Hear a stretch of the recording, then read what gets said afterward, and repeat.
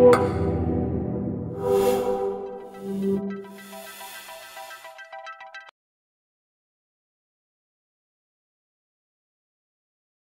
amants de la romànic.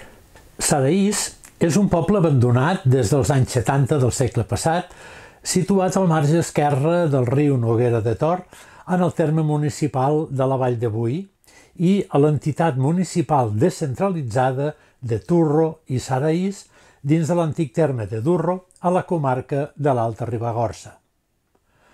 El 1860, el lloc de Saraís era habitat amb nou cases – l'any 1981 comptava amb un cens de 4 habitants.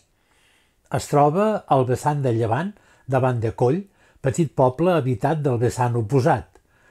El 2019 tenia 8 habitants. Està situat en l'Airat a 1.334 metres d'altitud a la dreta del barranc d'Esterres, als contraforts meridionals de Locodó, una muntanya eh, de 1.825 metres entre els antics municipis de Barruera i de Durro. S'ha cremat quatre cops, el 1883, el 1922 i el 1955. L'any 1937 comptava amb un nucli més o menys regular d'habitants, però va començar a disminuir en població quan aquell any es va patir una nit un paurós incendi que cremà pràcticament tot el poble, inclosa l'antiga església dedicada a Sant Llorenç. Només va quedar una casa sencera. Això ja va anar fent marxar els veïns de les 11 cases que hi havia vives des del segle XIX que van anar a viure a vora el riu. Per aquesta raó, el poble actual és a la riba esquerra de la Noguera de Tor, on actualment hi ha unes cinc cases. A això cal sumar-hi la promesa de la carretera que no va arribar mai. És l'únic poble de la vall sense carretera i només s'hi pot pujar caminant per un sender zigzaguejant que hi arriba després d'una hora i 15 minuts. S'hi accedeix per una pista rural que mena només travessant el riu al Saraís actual, des d'on es pot anar cap a llevant per accedir a les ruïnes del poble vell endinsat al fons de la seva vall. Aquesta pista rural continua cap a Pont de Suert, passant pels pobles d'Iran, d'Irgo, d'Iguerri i de Gotarta. El poble està format per una dotzena de cases enderrocades i una església romànica, també en ruïnes, dedicada a Sant Llorenç i datada al segle XI. Saraís, segons Joan Coromines, és un dels abundants topònims d'origen basc que existeixen en el Pirineu. Emparentat amb l'arrel sare, xarxa o pleta, i amb el sufix is, present en altres topònims pirinencs, aquest topònim coincideix amb el nom en euskera de la Vall de Salazar, Saraïts, les pletes.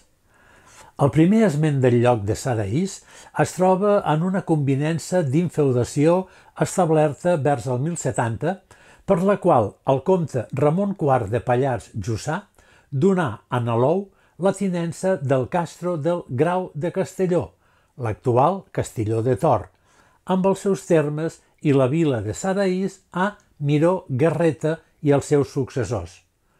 Probablement, l'erecció d'aquesta fortalesa per part del comte de Pallars Jussà fou motivada per la presència dels nou reis de Ribagorça a la vall de Barrabés i a Castelló de Tor, de tal manera que la seva finalitat va ser la de preservar la vall de Boí de l'expansionisme territorial dels monarques ribagorsans.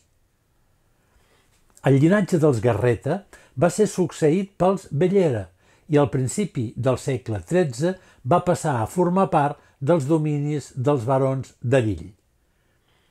Fins al 1831, any d'extinció dels senyorius, pertanyia als barons, després comtes, d'Arill. Pasqual Madoz, en el seu diccionari geogràfico del 1849, parla de Saraís o Serraís tal com hi apareix escrit el nom del poble. S'hi pot llegir que el lloc està situat en una muntanya a l'oest de la muntanya de Durro, que la recera dels vents de l'est i del nord. El clima, diu, és sa. Tenia nou cases i una església parroquial dedicada a Sant Llorenç. El cementiri era apartat del poble. Els veïns de Sadaís se servien de l'aigua del barranc anomenat Tena. La comunicació del poble, quan el camí arribava a la Noguera de Tor, discorria per una palanca miserable.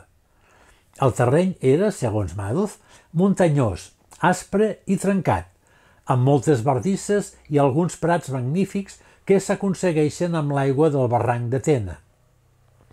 S'hi produïa sègol, ordi i patates, i s'hi criava ovelles, bous, vaques i eugues. La població era de quatre veïns, caps de família i 25 ànimes, és a dir, habitants. Saraís és l'únic poble de la vall d'avui, l'església del qual no és romànica, però també va tenir el seu temple romànic. Just al costat de la nova església, en el soler de l'antiga abadia, que és l'única casa que queda d'en peus, es veu encara una part de l'absis romànic. La parròquia de Sant Llorenç de Saraís pertany al bisbat de Lleida, pel fet d'haver pertangut a l'edat mitjana al bisbat de Roda de Ribagorça. Forma part de la unitat pastoral 25 de l'arxiprestat de la Ribagorça i és regida pel rector de Pont de Suert. De la primera església romànica de Sant Llorenç de Sadaís només en queda un tros d'absis inserit a l'angle sud-est d'un edifici, el soler del qual ha estat habilitat per acollir-hi bestiar boví. No és estrany que aquests vestigis de l'església romànica hagin passat desapercebuts fins ara, ja que eren dins d'un estable. Es tracta d'una obra del segle XI i aquesta porció de mur, que correspon a l'obra romànica, es destria fàcilment de la resta de la construcció perquè sobresurt a la cantonada i per la factura del seu aparell, senzill però acurat, que contrasta amb l'aparell rústec i matusser del casal on és embegut.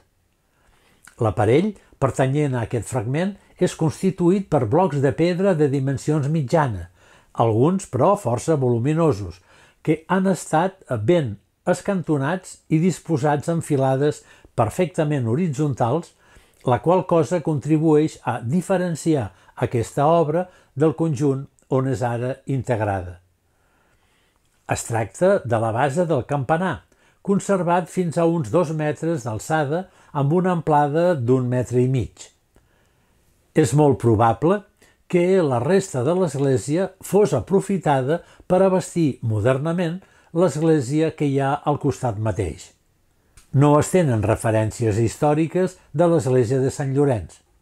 Per tant, l'església actual, coberta pràcticament en la seva totalitat per l'eure, és posterior, tot i ser molt a la vora de la primera i se'n desconeix la cronologia. Aquesta té un portal a ponent amb doble arcada i a sobre una espadanya de doble arc amb una de les campanes governat per una estranya creu molt diferent de les habituals llatines. És una prova més que demostraria que a l'edat mitjana la vall de Boí va ser multicultural, on les classes més baixes fins i tot tenien cert accés a les esferes de poder, una cosa impensable en aquests temps. Emmurallat i protegit pel senyoriu d'Arill, va tenir una gran importància geoestratègica durant més de quatre segles aconseguint un alt desenvolupament en comparació a altres zones on batallaven creences que a la vall convivien en harmonia.